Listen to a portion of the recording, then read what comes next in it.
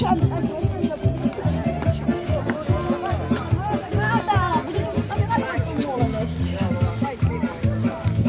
Пошли, пошли, молодец, девочки. Такой розовый, такой желтый. Молодцы.